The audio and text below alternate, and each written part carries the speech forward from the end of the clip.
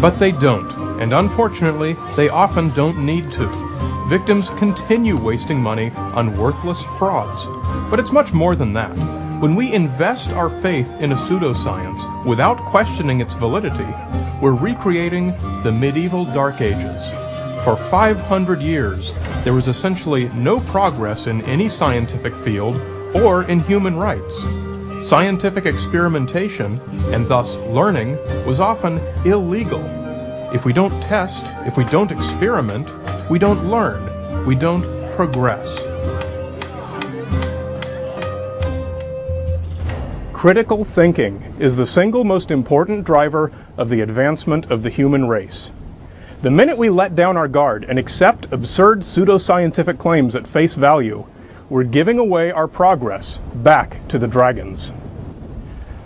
Now let's take a few minutes and go through some of the common warning signs. These are the red flags that you can watch for that will help you identify pseudoscience. The appeal to authority is the use of authoritative imagery to lend the appearance of credibility to a product. Quite often, this means a picture of someone in a white lab coat. Instant credibility! Other examples of authority-based marketing gimmicks include celebrity endorsements and mentions of certifications, colleges, academies, and institutes. Good science presents good data. It never needs to resort to hokey marketing gimmicks to impress you, and is almost never presented with a white lab coat.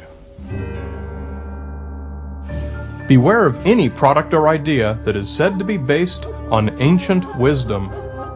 In ancient times, very little useful or true information was known about human anatomy and many other sciences.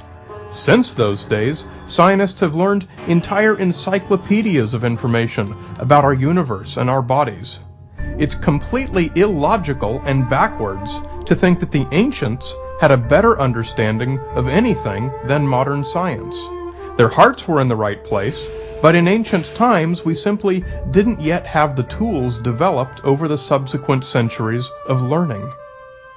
That's why ancient wisdom gave us things like the flat earth theory, human sacrifice, slavery, a 30 year average human lifespan, rain dances, the burning of witches, and the medical technique of bloodletting to rebalance the four basic bodily humors.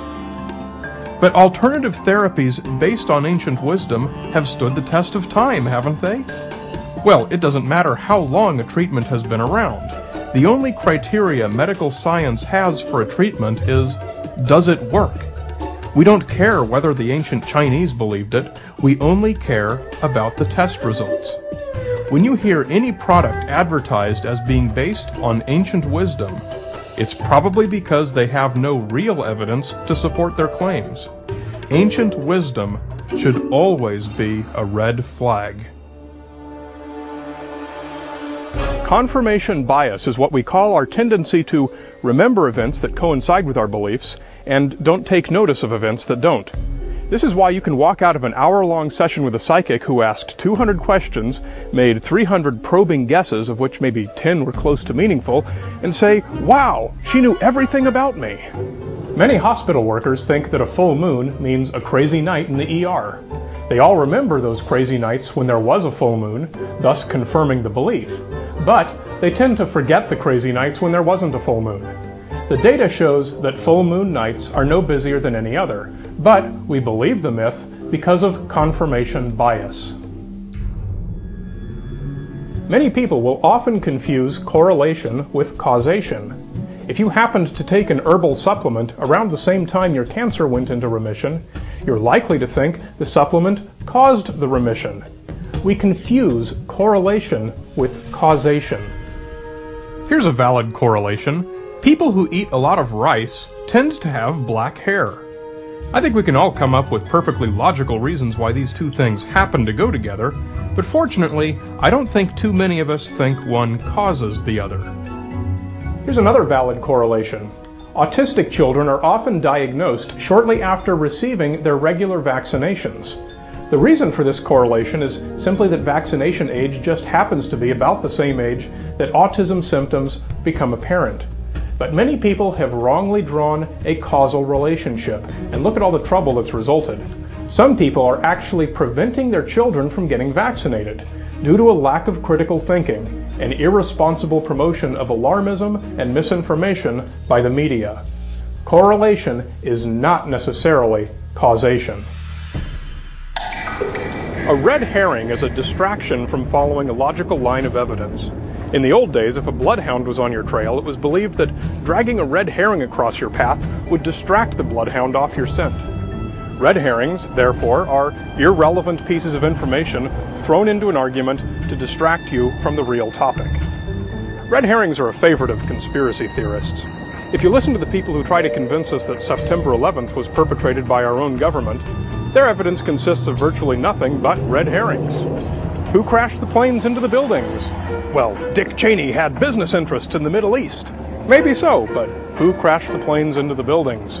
Well, the leaseholder had an insurance policy on his skyscrapers. Maybe so, but who crashed the planes into the buildings? George Bush's younger brother Marvin was a principal in a security company, and the World Trade Center was one of their clients. Maybe so, but who crashed the planes into the buildings? Brian Dunning visited the World Trade Center only two years before they collapsed. And isn't it interesting that he did a podcast episode debunking 9 11 conspiracy claims?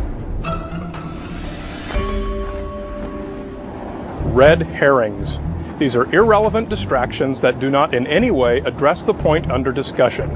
They merely have the appearance of relevance because some of the names or places are the same. Be on the lookout for them, and be the bloodhound that keeps his nose on the trail. Don't follow the red herring. While we're on the subject of conspiracy theorists, let's talk about their other favorite device. It's called proof by verbosity, and it consists of laying out huge volumes of information, more claims and allegations on more subjects about more people and ideas than anyone could ever possibly respond to. Such a blizzard of information gives the appearance of being comprehensive and thoroughly researched. If they have all that amazing amount of evidence, their claim must be true. But it's not the quantity of information that matters, it's the quality of information. You can stack cow pies as high as you want. They won't turn into a bar of gold. Pointing out that the evil government fluoridates our water supply does not support the claim that a particular brand of magically ionized water cures cancer. It makes no difference whether it's true or not, it's irrelevant. Piling on red herring after red herring will never amount to useful evidence. Pay attention and soon you'll run into another claim supported with proof by verbosity. It might be another conspiracy theory. It might be an advertisement for a new type of water with medicinal properties. It might be an herbal product claiming to detoxify your body.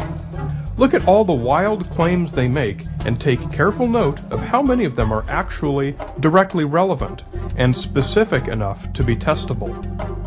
Notice how it would be impractical to try and respond individually to each of these many claims.